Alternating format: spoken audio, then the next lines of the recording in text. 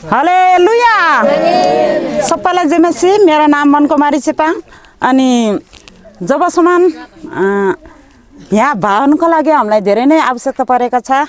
योभन्दा अघि हाम्रो दिदीबहिनी दाजुभाइहरूले पास्टर बुवाहरूले धिकन भाइहरूले सबै बोलिसक्नु भएको छ। भवनको आवश्यकता परेको छ। किन रहेछ भने पहिलादेखि नै हामी के अरे सानो झोपडी त यसै गरी नै हामीले मण्डली भत्काएर फालिहाल्यो। अब झोपडीमा अनि धुलो र मैलामा हामी अहिले धुलो र फोहोरमा अहिले हामी सेवा गरिरहेको छ।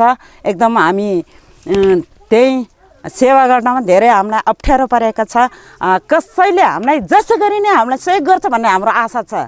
जसै गरी नै हामीलाई सहयोग गर्छ भनेर हाम्रो आशा भइसकेको छ।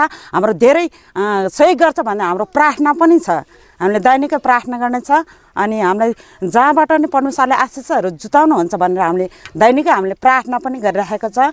अनि यो भवन निर्माण भएपछि हामीले आनन्द र सुखले हामीलाई प्रभुको महिमा गर्न पाओस् भन्ने हाम्रो एकदम अनुरोध छ। हामीहरूको विश्वासीजनको अनुरोध छ। जसै गरी नै हाम्रो भवन चाहिँ निर्माण होस् कस जसै गरी नै हामीलाई आशिष चाहिँ आओस् भनेर हाम्रो यो चाहना गर्दै यी सबै यो कुराहरूमा राख्न चाहन्छ सबैलाई जमेसी। हुन्छ सबैलाई जय मसी नाम मेरो दल्लीमाया चेपाङ घर सिद्धि कालिका एघार अनि यही मजबाङ हो। हाम के अरे हाम्रो मजबाङ स्था के अरे गाउँ टोलको नाम चाहिँ। हामी जबबाट यहाँ सङ्गति गर्दै आएको दसौँ वर्षभन्दा बढी भइसक्यो भइसक्यो। तर हामीले पहिला त सानो चर्च बनाएको थियो। अनि त्यो चर्चमा हामी परिवार बढ्दै गयो।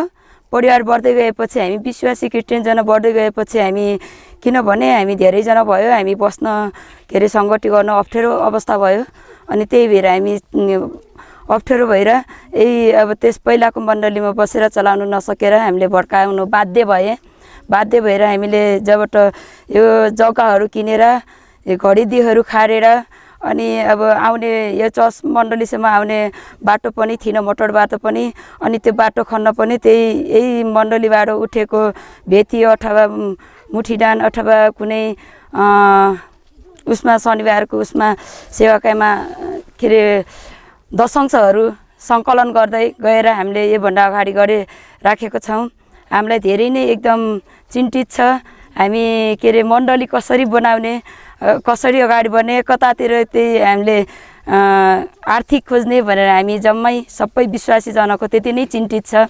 र कुनै ठाउँमा हामीलाई सहयोग गर्ने अथवा चर्च अथवा व्यक्ति अथवा कुनै संस्थाहरूबाट त्यस्तो आर्थिकहरू पायो भने हामीलाई एकदमै खुसी थियो र आशा अपेक्षा राख्न चाहन्छौँ हामी किनभने हामीसँग आर्थिक कमी कमजोरी छौँ। हामी भौगोलिकको अनुसार हाम्रो ठाउँ हाम्रो आर्थिक कमाउने छैन हाम्रो आर्थिक आउने बाटो छैन हाम्रो त्यसमा कमी कमजोरी छौँ। र हामीले बालबच्चालाई पनि त्यतिकै नै शिक्षा दिनुपर्ने हुन्छ। हरेक कार्यहरूमा हामी आर्थिक छैन ठाउँमा आर्थिकको आर्थिक हामीले जुटाउनको आवश्यकता छौँ। त्यो नै हाम्रो आशा र अपेक्षा छ।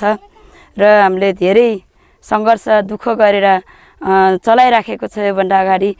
कुनै अथवा देश विदेश अथवा हाम्रो नेपाल अधिराज्य अथवा युट्युब च्यानलमा खेल्ने अथवा कुनै सहयोग गर्न मन छ भने आशा र अपेक्षा राख्न चाहन्छु म धेरै। गर्न गरिदिन्छ कि भन्ने तपाईँहरूले पनि यहाँसम्म आएर हामीलाई बाटो देखाइदिनु भएको छ अनि त्यो नै आशा छ मेरो।